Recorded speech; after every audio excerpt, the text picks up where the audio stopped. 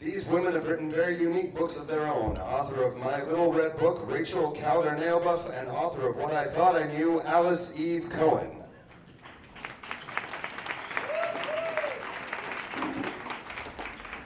Hey there. All right, so my name's pretty hard to say, so you can just call me the period chick. Uh, yeah, so as a freshman at Yale, I just started. Let me say it's a great way to meet guys. Yeah, um, no, but seriously, periods are an essential part of being a woman, and period stories are amazing and revealing. So tonight I'm going to share with you one of my favorite stories. It's absolutely uncensored, and it's by Ellen Devine.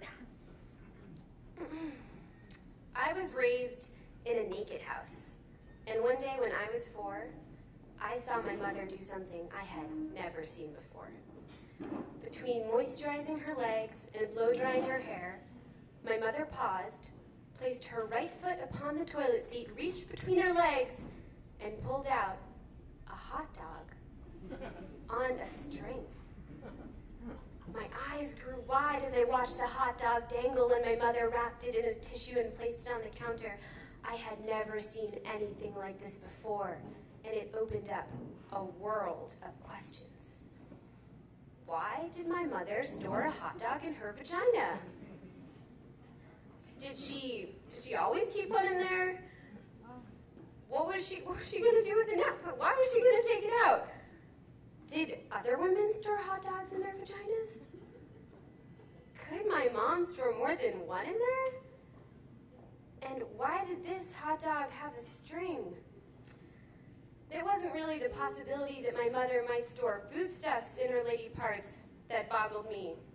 No, and hot dogs were a ubiquitous part of my childhood, from meaty filler and mac and cheese to the 3D eyes and noses we used on snowmen.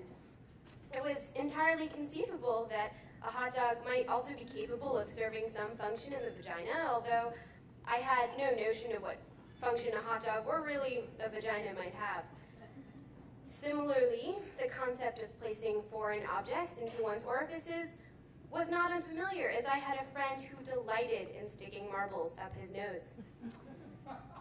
The source of my apprehension and the reason I felt so shaken was that my mother had inadvertently revealed to me that there was something that I, I did not know about her.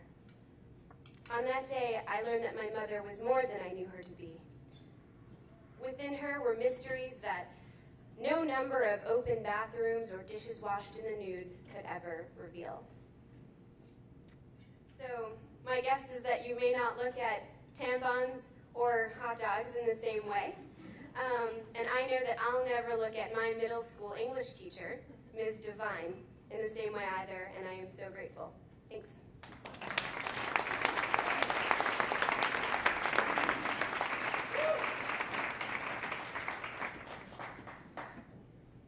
I'm a little embarrassed to admit to this particular audience that I recently had the unique experience of attempting to censor my own book. My memoir begins 10 years ago with my unexpected and terrifying pregnancy at the age of 44, years after being told that I was infertile. After months of misdiagnoses and treatments, I was raced to an emergency CAT scan for a large tumor, which turned out not to be a tumor. I was six months pregnant. I was told that the fetus was damaged. I was told that this would be a girl with a penis. I was told that, that she might have a fatal salt wasting disorder. I was desperate.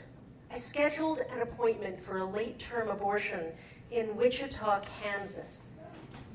But at the last minute, I decided to have the baby. Cut to the present.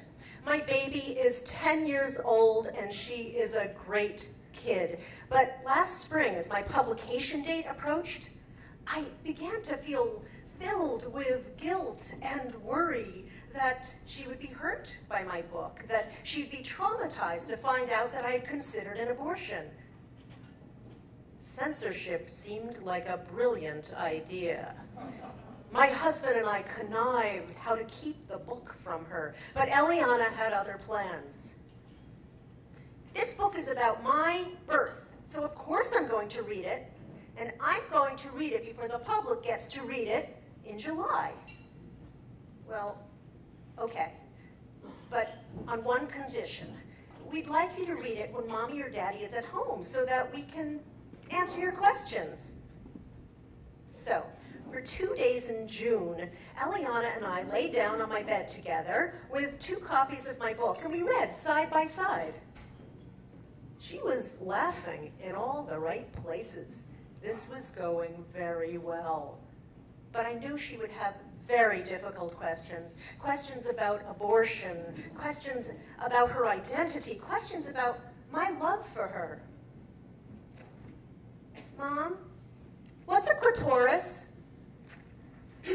she got to the part where the doctor told us that the baby would have male and female genitals. I uh, described the clitoris and its unique qualities. Okay, Mom, that's enough. She got to the part where I had scheduled an abortion. Did that hurt? Did that? No.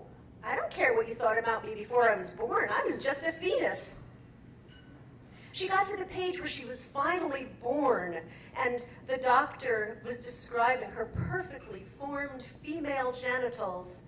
Mom, what's L A B I A? Okay, that's enough. She got to the epilogue, and I knew that I was home free. But suddenly, Eliana slammed the book down on the bed beside her and glared at me. Mom, how could you write that? R- write, write what? Eliana has asked three different boys on three different Valentine's days if he was her secret admirer. Mom, supposed to be a secret. And besides, it was only two boys on two Valentine's days. And now hundreds of people, and if you're lucky, thousands of people are going to read about it in your book. I apologized profusely. Eliana finished reading the book She turned to me and smiled. Good book, Mom. I really liked it. I'm so glad. Daddy and I were scared to let you read it. Did anything upset you? Nope. Because I knew exactly how everything was going to turn out.